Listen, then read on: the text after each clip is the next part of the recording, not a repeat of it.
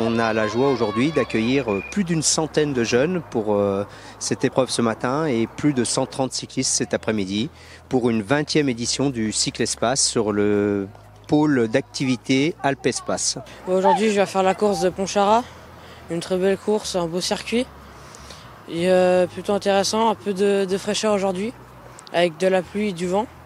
Mais euh, ça devrait le faire. Euh, échauffement euh, rapide parce que les, les sprints c'est rapide, c'est que 60 mètres. Un peu, un peu froid pour l'échauffement, mais après pour le sprint ça devrait. Il y a un deuxième sprint donc ça devrait bien se passer. Les sprints, c'est par ordre de dossard, départ arrêté, et c'est une petite distance. Et bah, ça s'est bien passé. Avec la pluie, il faut faire attention. Mais non, ça va, c'est pas trop technique. Euh, ce matin, donc, euh, les enfants de l'école de cyclisme euh, participent à deux épreuves.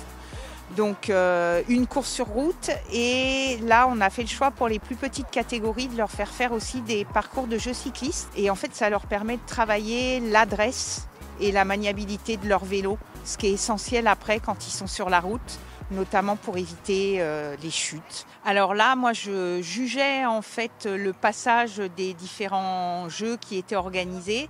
Et donc, le but pour eux, c'est d'aller le plus rapidement possible et en faisant le moins de fautes possible par rapport au parcours proposé. Je viens de faire des jeux et après je vais faire une course. J'ai dû prendre un bidon et faire euh, le tour de la table et le reposer. L'objectif de cette journée est de permettre à tous les jeunes et moins jeunes de participer. C'est pour ça que sur le matin, en fait, sous l'égide de la Fédération FFC de cyclisme, on fait des épreuves combinées d'écoles de, cyclisme et que cet après-midi, on se retrouve sur des épreuves plus classiques de courses dites euh, sur route avec euh, des adultes et quelques jeunes aussi, mais de plus de 17 ans.